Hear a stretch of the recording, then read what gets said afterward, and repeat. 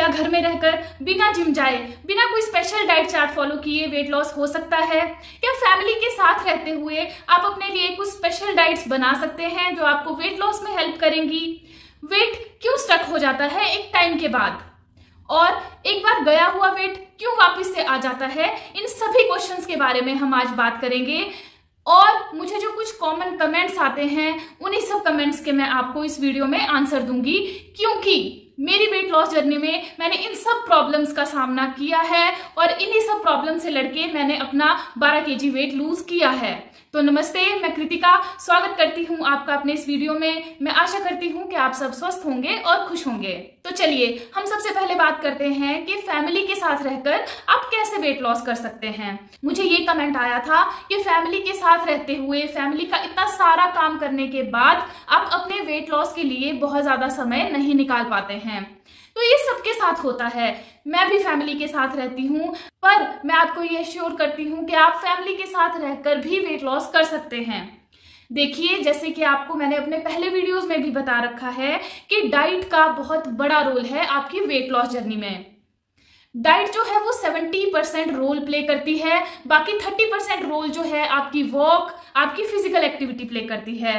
तो आपको ऐसे ही ऑप्शंस ढूँढने हैं अपनी डाइट के लिए जो इजी हों।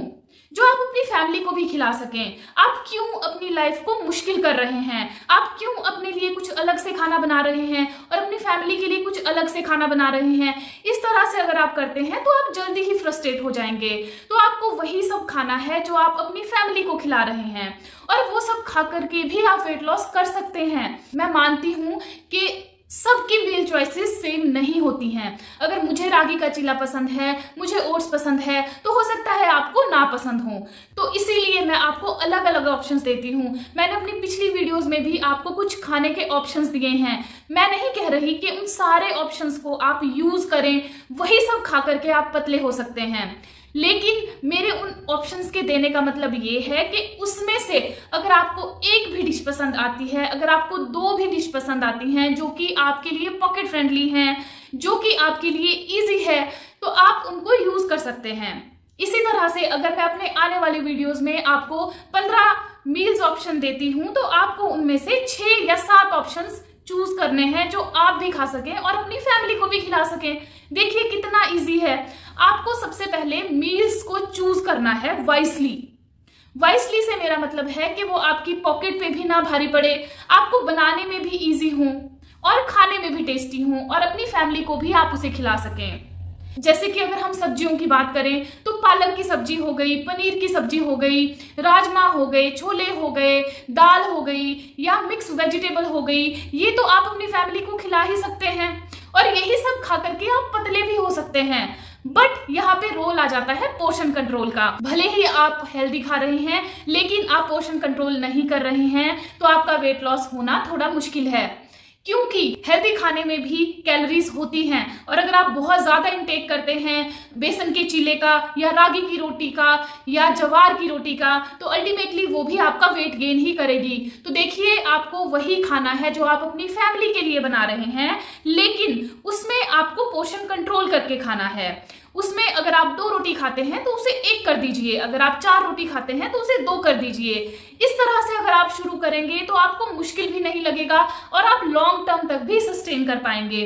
क्योंकि हम पूरी लाइफ उबली हुई दाल खा करके नहीं जी सकते। हम पूरी लाइफ सैलेड पे नहीं जी सकते। जैसे कि मुझे पता है कि मेरी कमज़ोरी राजमा चावल है। इसीलिए मैं अवॉइड करती हूँ कि राजमा चावल बहुत फ्रिक्वेंटली नहीं बनाऊँ। इससे क्या होता है कि मैं ओवर ईट कर जाती हूँ। इसी तरह अगर आपको भी कुछ पसंद है और आप उसे बहुत ज़्यादा क्वांटिटी में खाते हैं तो हेल्दी चीज़ें भी अनहेल्दी हो जाती हैं और आपका वेट गेन ही करती हैं। इसीलिए सबसे पहली बात जो आपको ध्यान रखनी है, वो है मील्स की चॉइसिस आपको बहुत ही इजी छह से सात मील्स ऑप्शन अपने लिए चूज़ करने हैं और कोशिश करें कि वो आपकी फैमिली के लिए भी सुटेबल हो, जिससे कि आपके टाइम की बचत हो और आप फ्रस्ट्रेट ना हो जाएँ अलग अलग सा खाना बना बनाकर। दूसरा, आपको पोषण कंट्रोल करना है। भले ही आप हेल्दी खा रहे हैं, लेकिन फिर भी अगर आप क्वांटिटी नहीं कंट्रोल कर रहे हैं तो वो अल्टीमेटली आपका वेट गेन ही करेगी। और तीसरा, आपको अपने लिए वो ऑप्शन चूज़ करने हैं जो आपकी बॉडी को सूट करें। जैसे कि केला और दूध का कॉम्बिनेशन सबकी बॉडी को सूट नहीं करता। बहुत सारी जगह पे ये कहा जाता है कि ये ऑप्शन बॉडी के लिए सही नहीं है, लेकिन ये भी कहा जाता है कि ये दूध और केला एक साथ में खा सकते हैं। तो ऐसा क्यों है? क्योंकि हर एक की बॉडी इसके प्रति अलग से रिएक्ट करती है। जैसे कि किसी की बॉडी के लिए ये थोड़ा ज़्यादा हैवी हो जाता है और कोई कोई पर्सन इसको अच्छे से पचा भी लेता है। इसीलिए अगर ये आपकी बॉडी को सूट नहीं करता है तो आप इसे अवॉइड कीजिए और केला अलग ही खा लीजिए और दूध को अलग से पी लीजिए। तो मेरे बोलने का सीधा सा मतलब ये है कि हर एक इंडिविजुअल की मील्स चॉइसेस अलग हो सकती हैं और होनी भी चाहिए, क्योंकि हम सबका टेस्ट अलग होता है, हम सबको खाने में अलग अलग चीज़ें पसंद होती हैं तो आप वही खाइए जो आपको पसंद है। चलिए जी तो आगे बात करते हैं कि उन दिनों का क्या? जब आप किसी फ़ंक्शन में गए हैं, किसी पार्टी में गए हैं, या घर पे ही आपके बच्चे का बर्थडे है, या फिर कोई एंगेजमेंट का फ़ंक्शन है तो आप क्या करेंगे? उस टाइम पे आपके लिए कोई सैलेड तो नहीं बन रहा होगा अलग से, या ओट्स पुडिंग तो नहीं बन रही होगी अलग से, या दलिया तो नहीं बन रहा होगा तो आप क्या करेंगे? देखिए, ये बिल्कुल नॉर्मल चीज़ है। हमें अपनी ज़िंदगी को सजा नहीं बना लेना है। वेट लॉस एक लाइफ टाइम प्रोसेस है। आप लाइफ टाइम त्याग नहीं कर सकते हैं। अगर आप 30 में से 28 दिन भी हेल्दी खा रहे हैं, घर का खाना खा रहे हैं जंक अवॉइड कर रहे हैं तो बाकी के दो दिन आप कुछ पार्टी भी इंजॉय कर रहे हैं या फ़ंक्शन भी इंजॉय कर रहे हैं तो उसमें कोई बड़ी बात नहीं है।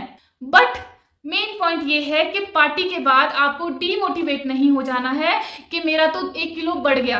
नहीं, आपको डीमोटिवेट नहीं होना है। आपको वापस से दोबारा से अपनी वेट लॉस जर्नी को स्टार्ट करना है। दोबारा से आपको हेल्दी खाना खाना शुरू करना है। अगर आप ऐसा करते हैं तो जो भी आपने दो दिन का जंग खा रखा होगा, वो एक या दो दिन में ही आपकी बॉडी से फ्लश आउट हो जाएगा और आपका वेट जो है वो वापिस से नॉर्मल में आ जाएगा। पर अगर आप गिल्ट में जाकर के अपनी वेट लॉस जर्नी को स्टॉप कर देते हैं तो ये आपके लिए आगे जाकर प्रॉब्लमेटिक हो जाएगा। आप अपना चार पाँच किलो वज़न और बढ़ा देंगे और उसे कम करने में और ज़्यादा मेहनत हो जाएगी। इसीलिए डिमोटिवेट नहीं होना है। फ़ंक्शन को इंजॉय कीजिए, शादी को इंजॉय कीजिए बर्थडे पार्टी को इंजॉय कीजिए और उसके बाद फिर से अपनी वेट लॉस जर्नी को स्टार्ट कीजिए। फिर से हेल्दी हेल्दी खाना बनाइए, फिर से अपनी वॉक शुरू कीजिए। अगर आप अपने शरीर के साथ इंसाफ करते हैं तो आपकी बॉडी भी आपको उसका दस गुना ही वापस देगी। और मैं एक टिप आपको यहाँ पर देना चाहती हूँ कि अगर आप किसी पार्टी में, किसी फ़ंक्शन में कुछ अनहेल्दी खा करके आते हैं, कुछ अपना फेवरेट फ़ूड कुछ गोलगप्पा खा करके आते हैं बर्गर खा करके आते हैं, और आपको गिल्ट फील होता है तो कमेंट सेक्शन में मुझे बताइए कि आप क्या खा करके आए हैं। इससे आपका गिल्ट जो है वो थोड़ा कम हो जाएगा। मैं आपको मोटिवेट करूँगी कि कोई बात नहीं, अगर आपने खा लिया है तो कोई बात नहीं है। आप कल से ही अपनी वेट लॉस जर्नी पे वापिस से शुरू हो जाइए। अगर आप किसी को बता भी देते हैं कि आपसे ये गलती हो गई है और आपने कुछ ऐसा अनहेल्दी खा लिया है जो आप नहीं खाना चाहते थे तो भी आपका मन हल्का हो जाता है और आप बहुत ही अच्छा फील करते हैं। इसलिए मुझे कमेंट सेक्शन में आके आप बताएँगे कि आपने क्या अनहेल्दी खाया है और बता करके आप भूल जाएँगे और अगले दिन से अपनी नॉर्मल लाइफ अपनी नॉर्मल हेल्दी रूटीन फिर से स्टार्ट करेंगे। तो अगला बहुत कॉमन क्वेश्चन जो है, वो है वेट स्टक हो जाने का। ये प्रॉब्लम मैंने भी फेस की है तो मैं समझ सकती हूँ कि वेट स्टक हो जाता है, ये एक नॉर्मल बात है। मैंने भी जब अपना वेट लॉस जर्नी स्टार्ट किया था तो स्टार्टिंग में मेरा भी पाँच छह किलो आराम से इजीली जंक छोड़ के वॉक करके ही कम हो गया था। लेकिन बाद में उसी वेट को आपको कम करने के लिए थोड़ी सी मेहनत करनी पड़ती है। तो ये बिल्कुल नॉर्मल है। आपको इससे डिमोटिवेट नहीं होना है और आपको बिल्कुल अपनी वेट लॉस जर्नी में लगे रहना है। और इसका कॉमन कारण ये है कि स्टार्टिंग में तो कुछ वाटर वेट होता है हमारी बॉडी में, जो कि आसानी से कम हो जाता है। लेकिन बाद में जब हमारी बॉडी फैट को बर्न करने लगती है तो उसमें थोड़ा सा टाइम लगता है, क्योंकि वो फैट हमने बहुत साल से जमा करके रखा है, जिसकी वजह से वो धीरे धीरे ही बर्न होगा। तो आपको डिमोटिवेट नहीं हो जाना है। मेन कारण ये है कि आप जितना कैलोरी का इंटेक कर रहे हैं एक दिन में, उतना बर्न नहीं कर पा रहे हैं, जिसकी वजह से आपका वेट जो है वो स्टक हो गया है। इसलिए कोशिश कीजिए कि आप जितनी कैलोरीज का इंटेक कर रहे हैं, उतनी ही कैलोरीज आप बर्न करें। इनफैक्ट अगर आप उससे थोड़ी ज़्यादा कैलोरीज बर्न करेंगे, तभी आपका वेट लॉस होगा, वरना आपका वेट स्टक ही रहेगा। और यहाँ पे मैं ये भी कह देना चाहती हूँ, अगर पहले महीने में आपका पाँच किलो वेट लॉस हो गया है और दूसरे महीने में स्टक होने के बाद भी आपका दो किलो वेट लॉस हो गया है तो उसकी खुशी मनाइए। क्योंकि आपने दो किलो वेट लॉस कर लिया है। उसका क्या? अगर आपका वेट उतने पे ही रह जाता या दो किलो बढ़ जाता तो हमें हमेशा अपने 500 ग्राम वेट कम होने को भी इंजॉय करना है। खुश रहना है। क्योंकि अगर आप एक महीने में दो किलो भी वेट लॉस करते हैं तो भी आप चार महीने में आठ किलो वेट लॉस कर लेंगे। और सच मानिए, एक महीने में चार किलो वेट लॉस तो बहुत इजीली पॉसिबल है। इसलिए अगर आप एक महीने में चार किलो भी वेट लॉस करते हैं तो भी आप चार महीने में बारह के वेट लॉस कर सकते हैं। तो मेरा हमेशा से यही सजेशन रहता है कि एकदम से ड्रास्टिक वेट लॉस मत करें, आराम से धीरे धीरे वेट लॉस करें ताकि वो वापस ना आए। क्योंकि अगला सवाल इसी से रिलेटेड है और मुझे कमेंट सेक्शन में भी बहुत ज़्यादा पूछा जाता है कि एक बार तो आपने 25 किलो वेट लॉस कर लिया। लेकिन 12 किलो जो है वो वापस से आ गया तो इस पर क्या किया जाए? इसका मेन कारण ये है कि आपने बिल्कुल ड्रास्टिक डाइट फॉलो करके वेट लॉस तो कर लिया, लेकिन आप हमेशा वो डाइट तो नहीं फॉलो कर सकते हैं। आप हमेशा लिक्विड डाइट पे तो नहीं रह सकते। इसीलिए मैं हमेशा अपनी वीडियोस में सजेस्ट करती हूँ कि घर का खाना खा के ही अपना वेट लॉस कीजिए। ऐसा खाना खाइए जो आप पूरी लाइफ फॉलो कर सकें। इसकी वजह से क्या होगा कि आपका वेट जो है वो वापिस से कभी नहीं आएगा। वेट कब वापिस से आता है? अगर हम अलग से डाइट पे चले जाते हैं और वापस से जब हम घर का खाना खाना शुरू करते हैं तो हमारी बॉडी अलग से रिएक्ट करती है और वेट जो है वो वापस से गेन होने लगता है। इसीलिए मैं ये सजेस्ट करती हूँ कि वही खा करके अपना वेट लॉस कीजिए जो आप पूरी लाइफ खा सकें। जैसे कि अगर आप रागी का आटा या जवार का आटा अपनी लाइफ टाइम में नहीं खा सकते हैं तो गेहूँ की रोटी खाकर ही अपना वेट लॉस कीजिए। कैसे? अगर आप चार रोटी खाते हैं तो उसे दो कर लीजिए। अपनी डेली अपनी दिनचर्या में फ़िज़िकल एक्टिविटी को बढ़ा दीजिए और पोर्शन कंट्रोल कीजिए लीफी वेजिटेबल ज़्यादा खाइए, दाल को कंज्यूम कीजिए, पानी का ज़्यादा यूज़ कीजिए, ये सब छोटी छोटी हैबिट्स को चेंज करके आप अपना वेट लॉस कर सकते हैं। आपको बहुत अलग से अपने लिए कुछ बनाने की ज़रूरत नहीं है। तो चलिए आगे बात कर लेते हैं इंटरमीडियंट फास्टिंग के बारे में। तो जी हाँ इंटरमीडियंट फास्टिंग आपके वेट लॉस में बहुत ज़्यादा हेल्प करता है। अगर आप इंटरमीडियंट फास्टिंग करते हो तो आपकी बॉडी जो है, वो बहुत अच्छे से रिस्पॉन्ड करेगी और वेट लॉस जो है, वो दुगना हो जाता है। तो इंटरमीडियंट फास्टिंग क्या होता है? इसमें दो विंडोज़ होती है, एक होती है ईटिंग विंडो और एक होती है फास्टिंग विंडो ईटिंग विंडो में आपको खाना खाना है, अपना ब्रेकफास्ट डिनर लंच आपको अपनी ईटिंग विंडो में कंप्लीट करना है और फास्टिंग विंडो में आपको भूखे रहना है। आप पानी पी सकते हैं, या फिर आप नारियल पानी भी पी सकते हैं। इसके अलावा आपको कुछ भी खाना नहीं खाना है सॉलिड फ़ूड नहीं खाना है। तो इंटरमीडियंट फास्टिंग डिफरेंट डिफरेंट तरीके से होती है। जो मोस्ट पॉपुलर इंटरमीडियंट फास्टिंग का टाइम है, वो है सिक्सटीन इंटू एट इसमें क्या होता है कि 16 आवर्स आपको भूखा रहना है, आपको फास्टिंग में रहना है और 8 आवर्स में आपको खाना है। तो अगर आप इस तरह से फॉलो करते हैं तो ये आपको वेट लॉस में ज़रूर से हेल्प करेगी। लेकिन 16 इंटू एट की इंटरमीडियंट फास्टिंग बहुत ही मुश्किल हो जाती है। सब लोग नहीं फॉलो कर पाते हैं, क्योंकि फैमिली के साथ रहते हुए या जॉब की वजह से या पढ़ाई की वजह से 16 इंटू एट की जो विंडो है, वो सबके लिए पॉसिबल नहीं होती है। इसीलिए कुछ लोग जो है, वो 12 इंटू ट्वेल्व की विंडो भी फॉलो करते हैं। इसमें आपको 12 घंटे खाना होता है और 12 घंटे आपको भूखे रहना होता है। और ये बहुत ज़्यादा मुश्किल भी नहीं है। अगर आप अपना खाना रात को सात बजे से पहले खा लेते हैं तो आपको अगले दिन सात बजे तक बिल्कुल भूखे रहना है। तो जिस टाइम पे आप भूखे रहते हैं, उस टाइम आपकी बॉडी जो है, वो आपके खाने को अच्छे से डाइजेस्ट करती है और आपका फैट भी कट करने में हेल्प करती है। अगर आपको इंटरमीडियंट फास्टिंग पे अलग से वीडियो चाहिए होगा तो प्लीज़ कमेंट सेक्शन में ज़रूर से बताइएगा। मैं इसे अलग से भी कवर करने की ज़रूर से कोशिश करूँगी। तो अगला क्वेश्चन होता है किटो डाइट का लो कार्ब डाइट का। तो ये सब डाइट्स जो अलग अलग सी डाइट्स हैं, ये वेट लॉस में हेल्प करती हैं या नहीं करती हैं? देखिए, यहाँ पे मेरा सजेशन है कि आप एक बैलेंस डाइट लें। अगर आप सिर्फ़ किटो डाइट पे चले जाते हैं या नो कार्ब डाइट पे चले जाते हैं तो आपकी बॉडी के लिए ये बिल्कुल भी अच्छा नहीं है। ये आपकी स्किन प्रॉब्लम करेगा, ये आपका हेयर लॉस करेगा। आप वेट लॉस तो कर लेंगे, लेकिन आप जैसे ही इस डाइट को छोड़ेंगे, वैसे ही आपका वेट जो है वो वापस भी आने लगेगा। इसीलिए मैं हमेशा सजेस्ट करती हूँ कि एक बैलेंस डाइट ले, जिसमें प्रोटीन की मात्रा भी हो, जिसमें कार्ब भी हो, जिसमें विटामिन भी हों। इससे क्या होगा कि ये आप लॉन्ग टर्म तक सस्टेन कर पाएँगे और आपको कोई और साइड इफ़ेक्ट भी नहीं होगा। इसीलिए बैलेंस डाइट ही खाएँ किटो डाइट लो कार्ब डाइट पे मत चले जाइए या सिर्फ़ प्रोटीन डाइट पे मत चले जाइए। एक बैलेंस डाइट लीजिए, जो कि आपको वेट लॉस में भी हेल्प करेगा और आप लॉन्ग टर्म तक आपका वेट जो है वो वापस भी नहीं आएगा। नेक्स्ट जो बहुत कॉमन क्वेश्चन है, वो है एक्सरसाइज और योगा पे। तो यहाँ पर मैं आपको बता देना चाहती हूँ कि अगर आप बिल्कुल बिगनर हैं, अगर आपने आपने अपनी वेट लॉस जर्नी स्टार्ट ही की है तो आप वॉक से स्टार्ट कीजिए। जैसे कि मैंने पहले भी बता रखा है, आप एक घंटे की वॉक कीजिए डेली और नॉर्मल अगर आप एक घंटे की वॉक करते हैं तो वो सिक्स थाउज़ेंड स्टेप्स के बराबर से होती है। तो आप एक घंटे की वॉक से ही स्टार्ट कीजिए।